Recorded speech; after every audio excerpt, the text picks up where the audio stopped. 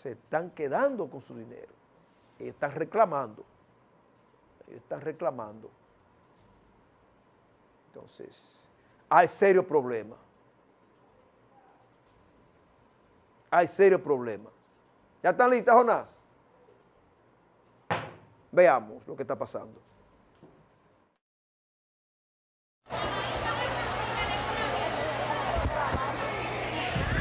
Eh, buenas, buenos días. Date cuenta, estamos aquí en Joan Dominicana, que nos quieren tumbar, nos quieren descontar el dinero del programa FASA. Ya eh, ahora el encargado de personal quiere pasarnos del dinero del sueldo que nosotros trabajamos semanalmente, nos quieren tumbar, nos quieren descontar 1.250 pesos, que no es justo. Ahora en este momento nos quieren pasar por fase 2. Ahora, después de, de- de tres meses y pico, cosa que la ley no procede.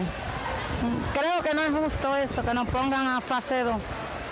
Que nos quieran descontar de- del, del sueldo de nosotros, nos quieren descontar ese dinero.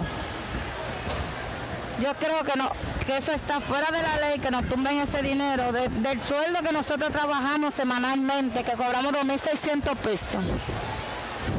Aquí está todo el mundo, está parado, está en Joan Dominicana, Santiago. Eso es en Joan Dominicana, Santiago, todo el mundo está parado. Date cuenta. No, aquí todo el mundo dijo que, que aquí ellos no, o nos dejan el sueldo normal o que nos metan o, o- que nos metan a fase 2. Pero tienen que enseñarnos la prueba de que nos metieron a fase 2 porque en este momento no procede la ley. Mira cómo estamos, todo el mundo está parado aquí, todo el mundo está parado. Ahí está. Mañana voy a hablar de un caso que sucedió en Villa González. Dos nombramientos para una institución. Dos nombramientos, óigame.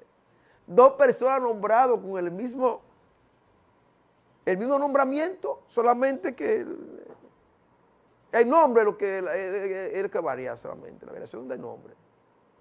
Nombran una y luego nombran a otra.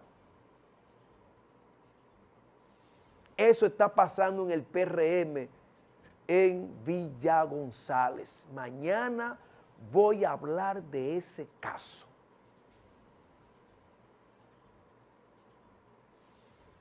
La vagamundería que hay, se están haciendo. Y la injusticia que están haciendo con esa persona que trabajó para darle el triunfo